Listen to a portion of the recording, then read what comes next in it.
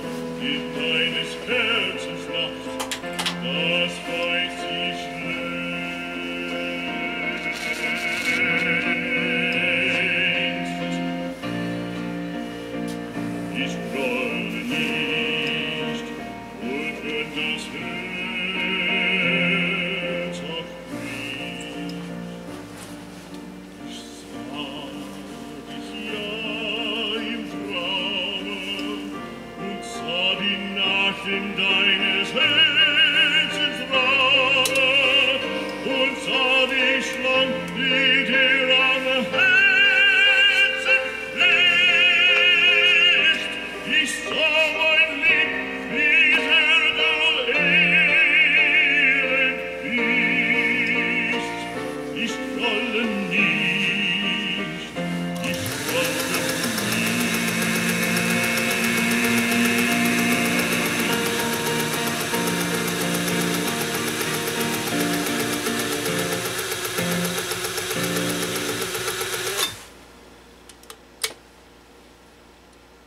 That's a teeny tiny stitch. Holy mackerel!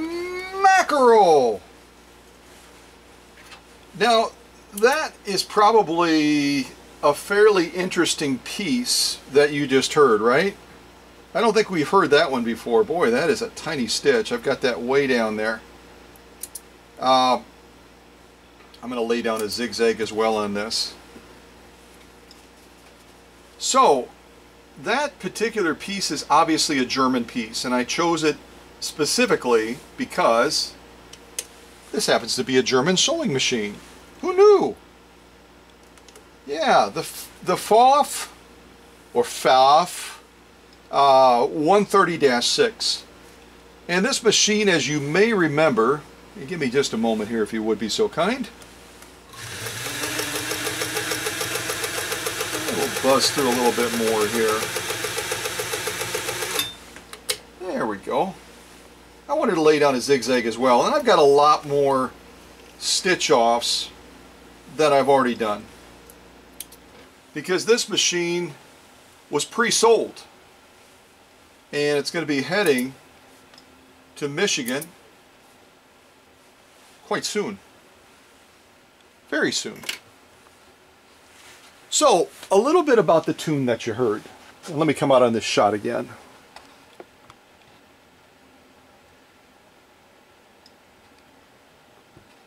So, that tune obviously has German origin. And it literally is a sad song. I don't know if you can hear that in the way the guy sings it or not on this particular piece that happens to be available to me on YouTube. But my best translation of it, first of all in German, is Ich grolle nicht. It translates to basically meaning I bear no grudge. This is a kind of a jilted love story uh, where this gentleman is singing. Uh, the words originally were in a poem, and here's what it literally says I bear no grudge even when my heart is breaking. Eternally lost love! Exclamation point. I bear no grudge. Shine how you may in a magnificence, magnificence of diamonds. There falls no light into your heart's night that I have known for a long time. I bear no grudge even if my heart breaks. Indeed, I saw you in my dreams. I saw the darkness in the chamber of your heart. I saw the serpent feeding on your heart. I saw my love, how very wretched you are. I bear no grudge. How wretched you are, I bear no grudge. Okay, love, hate, love, hate, love, hate. But I thought that that would be a unique song to kind of open up. Obviously, German roots. And uh, there's a couple different interpretations of this piece uh, that was comprised out of a poem. Uh, one suggests that the gal just went with a rich guy and uh, jilted this guy. The other one suggests that she may have been forced into the marriage, kind of a uh, you know, uh, uh, an arranged marriage. So no one, I don't think there's anyone that completely agrees as to what the real meaning of that song is uh, in, in, that respect. Any rate, Rosanne, who happens to be connected with the University of Michigan, was looking for a workhorse machine like this, uh, FAF or FOF uh, 130-6. She does a variety of different sewing and uh, has a couple of machines, I believe, already, but just didn't have one that would have the grit to be able to go through uh, heavy grade sewing like you just saw on camera. And like all of these other sew-offs uh, as well that I'm going to lay out for you to look at. And again, I was preparing this machine for sale and it literally was was pre-sold. I mean, it sold so quickly. It was like, nope, that's exactly what I'm looking for. Uh, Rosanne said, and uh, I want it. I want to. I want to be able to buy it right away and not have a chance to lose it to anyone else potentially. So let me lay all these sew-offs all out, and we'll take a look at them as we get ready to wish this really cool uh, Fall for FAF 130-6 uh, Bon Voyage, or, or Auf Wiedersehen, Auf Wiedersehen, or as you say casually in German, Tschüss, which is also like bye. So this is the one we just did. This is, it looks like genuine cowhide, but it's actually an adaptation of protected full grain leather. And we just buzzed through two layers of it. You can see here we did a, a tiny, tiny little stitch that, I mean, the way I was feeding it through the material, it's even smaller than 30 stitches per inch. I mean, it is tiny, tiny, tiny, tiny, tiny.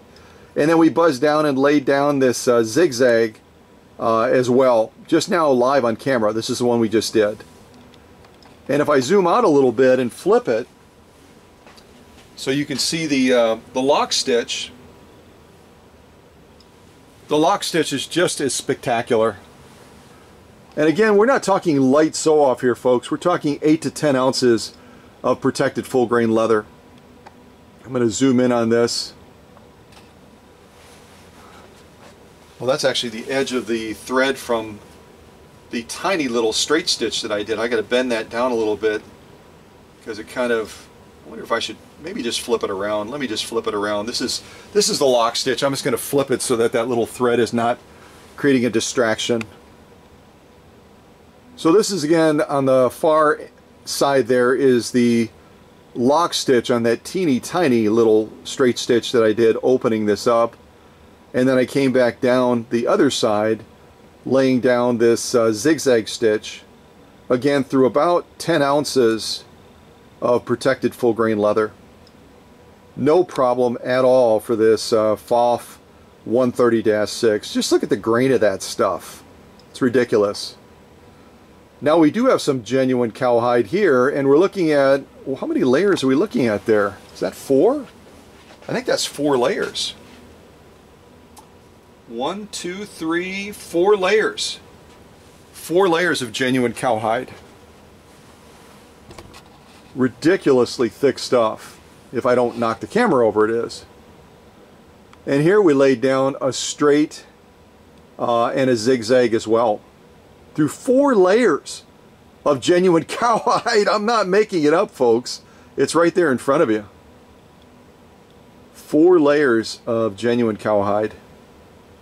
And I'd be happy to flip it and show you the uh, lock stitch on that as well. It's indistinguishable. And like I said, that's the goal with any sewing machine. You're talking four layers, probably about almost 16 ounces of leather there. And there's our zigzag on the far side and then our straight stitch uh, in the foreground. And that straight stitch is probably about, oh, 10 to 12 stitches per inch. Nothing like the one we did over here, which is like microscopic almost. But again, we're talking four layers, folks, of this genuine cowhide, the thick of thick. And then we have some more protected uh, full grade full grade leather here, blah blah blah. And we did a variety of different stitches going down here.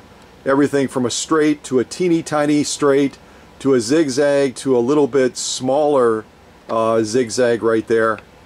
And in every respect, this uh, 130-6 just did a phenomenal job. And that's two layers, probably about 10 ounces. And then we laid down a much larger stitch here on our eight layers of uh, U.S. Army grade canvas. You know, probably about five to six stitches per inch. And again, it just did a phenom phenom phenomenal job. That is a tough word to say when you haven't had enough coffee. oh, I didn't even show you the uh, lock stitch on this one. Let me flip that one too. But the beauty of this 130-6 is you can just see the the huge range as far as the stitch uh, length that this uh, machine is able to lay down. And not just lay down, but lay down to utter perfection. So here we're seeing the lock side of that two layers of uh, protected full grain leather. And once again, it's just absolutely the textbook picture of what a per perfect stitch looks like. It's just absolutely fun fantastic. I'm going to go to fantastic.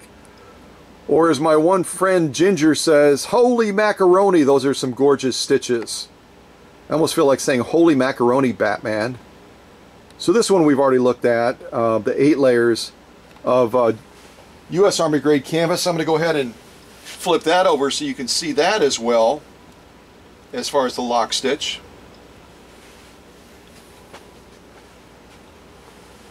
Again, to absolute perfection is what we're looking at here. Just fantastic in every respect. Again, eight layers, folks, of U.S. Army grade canvas. We're not talking about uh, a tinsel light type sew off. Just look at it from the side even. It's like a phone book. We sewed a phone book. you out of U.S. Army grade canvas anyway. Just crazy. I mean, that is just that is just pushing this thing to the limit. And then we took it even, I think, a step up. A step up from all the other sew-offs you've already seen by this commercial grade vinyl, folks. This stuff is crazy, crazy tough to get through. And look at the number of layers we did there. And the quality of the stitch that we laid down is just like, what? Yes, brag worthy. It's absolutely brag worthy. I think that's five layers, if I'm not mistaken. Let me um, let me go over there. Well, I can see kind of see it from here. One, two. Yeah, I'll go over there. One, two, three. Yep. One, two, three, four. Ah, I'm wrong. That's not five layers. Holy mackerel! That's six layers of commercial grade vinyl, folks. Oh my gosh. Ah! That's nuts. That is, I, I can't even tell you how tough that is to get through. And, and yet this 130-6 uh, did it just like a walk in the park.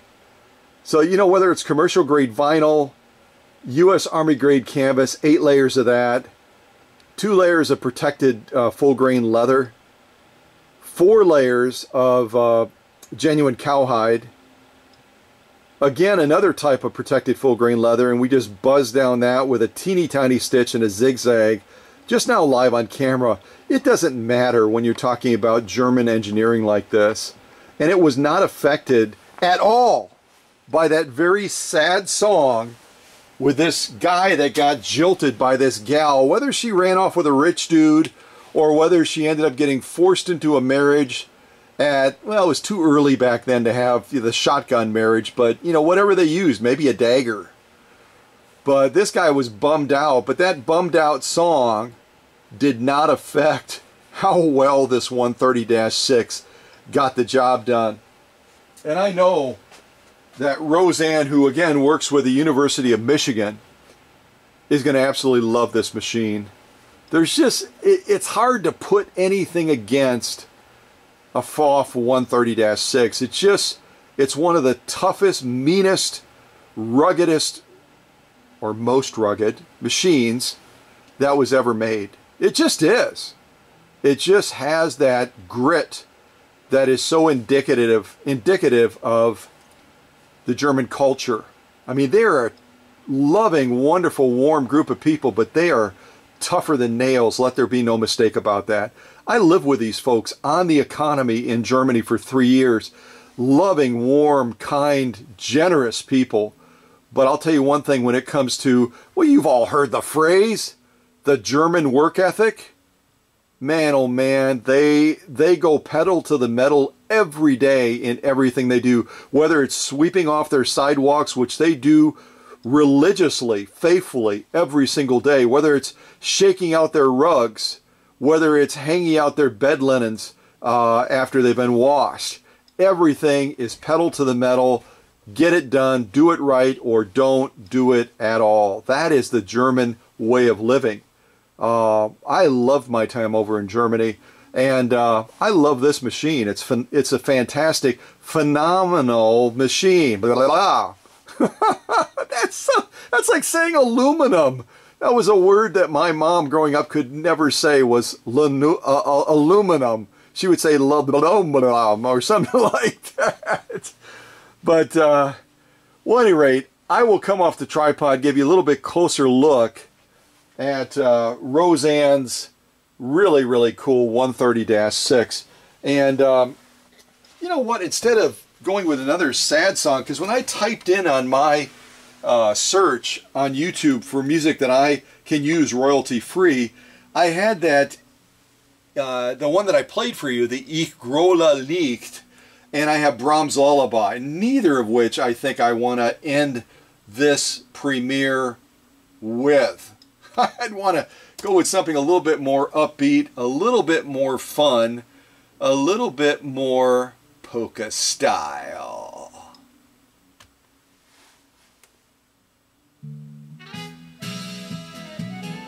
This isn't bad. This works. This, by the way, if you want to know, is called Four Beers Polka. Four Beers. Four Beers Polka. All right, let's come off the tripod. Get a little bit closer to this really cool 130-6.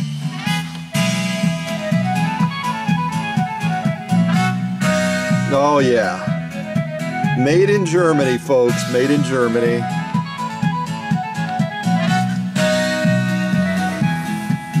See, this is the part right here I talked about, this wider part right here that will distinguish a, a Pfaff 130 from a 130-6 like this model. It just sets them apart.